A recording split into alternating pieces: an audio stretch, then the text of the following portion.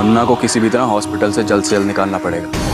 वरना पुलिस वाले उसी नाक में दम कर देंगे। अमर तो डॉक्टर निधि के बगैर हॉस्पिटल छोड़ेगा नहीं। फिर? पगला है।